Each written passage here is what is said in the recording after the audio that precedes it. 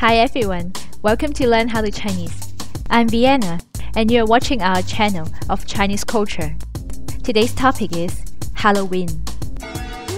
Did you know that Chinese people have their own version of Halloween? They call it Gui Jie, Ghost Festival. Gui means ghost, and Jie means festival.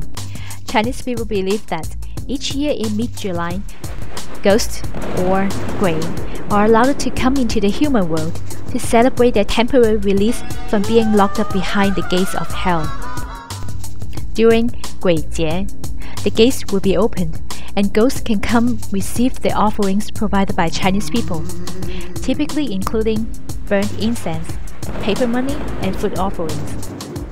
And like in the Western world, where parents would like to take their children out to trick or treating during Halloween. Most parents in China would keep their children at home during Guijie, especially at night since no one wants to come into the contact with these ghosts. If you get a chance to travel to China during Guijie, my suggestion is not to take any pictures of Chinese people burning incense or paper money on the street. Chinese people are serious about this festival.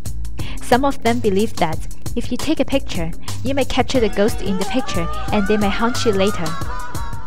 A story of my childhood. When I was little, my mom told me not to touch walls because ghosts travel between the walls. She also told me not to pick up any money on the street. This is what she said. Ghosts are trying to test if you're greedy and you don't want to be the target. Again, Chinese people are not celebrating this festival. This is an offering day for the ghosts, and guess what? Chinese people can't wait for this day to be over. Thanks for watching. I'm Vienna, and forward these videos to your friends now. Happy learning. Bye.